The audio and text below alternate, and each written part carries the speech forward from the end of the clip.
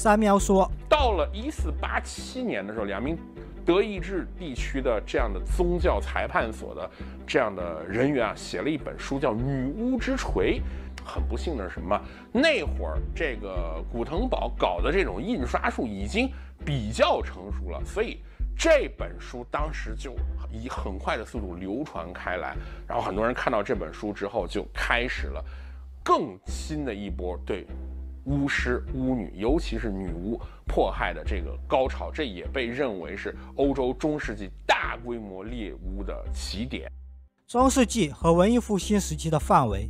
并没有一个准确的定义，但一般认为是公元五世纪到十五世纪。这是欧洲各个地区发展不同，导致每个欧洲国家学者定义中世纪时间范围的不同。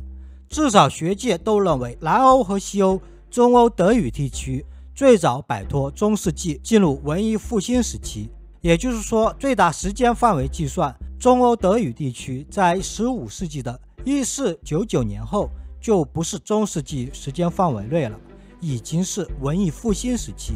再退一步说，一五一七年路德发表九十五条论纲宗教改革后，德语地区就不再是中世纪。《女巫之锤》是一四八六年在德语地区出版，《巫师与猎巫》一百六十六页的地图和数据显示，德语地区的猎巫高峰是一五三零年开始。到一六七九年结束，这段时间很明显是德语地区的文艺复兴时期。彼得利森和雅各布罗斯在其二零一七年《女巫审判》论文中查阅了欧洲各国的女巫审判档案，也显示高峰从一五二零年左右开始，到一六五零年左右结束，并且有女巫审判和处刑的地图。